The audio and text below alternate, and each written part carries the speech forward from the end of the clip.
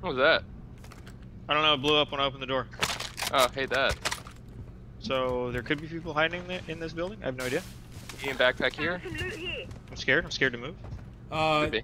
do you, do you hear anyone? No, nothing. I'll take that. Fuck. That's that's scary, dude. It's unnerving. They didn't even pop the crate that was in here. Do you mean that they set a fucking mine? They set a mine. Oh, he shot me. Oh, that's karma. That's karma. up.